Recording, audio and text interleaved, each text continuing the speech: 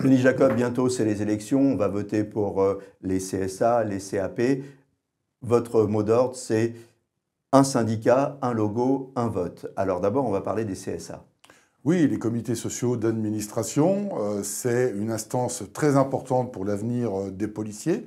Il va y avoir d'ailleurs différents CSA sur lesquels mes collègues vont devoir voter du 1er au 8 décembre, à savoir le CSA ministériel, le CSA de la police nationale et le CSA au niveau local, c'est-à-dire le CSA départemental. Alors pourquoi c'est important de voter pour les CSA Et puis peut-être on va rappeler ce que font les CSA. C'est important euh, de voter pour les CSA parce que c'est euh, le point principal qui défend euh, les collègues comme instance, à savoir les conditions de travail, bien évidemment, tout ce qui est réforme dans la police nationale, et on est d'ailleurs au cœur euh, du sujet avec euh, la LOPMI, le protocole d'accord de la police nationale, mais aussi euh, la réforme de la police nationale avec les DDPN, direction départementale de la police nationale, avec la polémique qu'on connaît aujourd'hui en police judiciaire. Et puis ça va aussi déterminer la gestion de leur avancement et de leur mutation, puisque aujourd'hui c'est au sein des CSA que nous gérons les avancements et les mutations des policiers.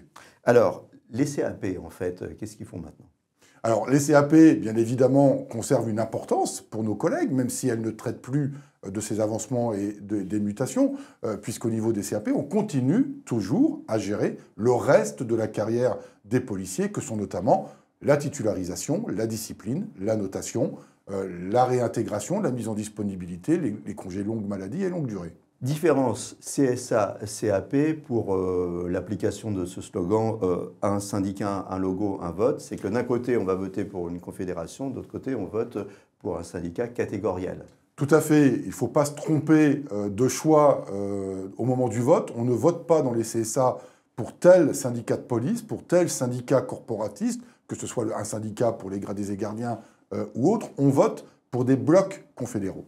Vous avez quatre confédérations et au sein de ces confédérations, vous avez un certain nombre de syndicats qui y sont affiliés. En ce qui concerne l'Alternative Police, c'est la CFDT. Et donc, pour les CSA, pour voter Alternative Police, il faut voter CFDT. Pour la CAP, par contre, c'est différent, puisque là, on vote pour des syndicats catégoriels, c'est-à-dire des syndicats par corps de la police nationale. Et pour les CAP, il faudra voter pour une seule organisation syndicale, Alternative Police. Donc on se résume, CSA, on vote CFDT, CAP, on vote Alternative Police, et Alternative Police, CFDT, c'est la même chose. Tout à fait, c'est la même chose et vous avez tout dit.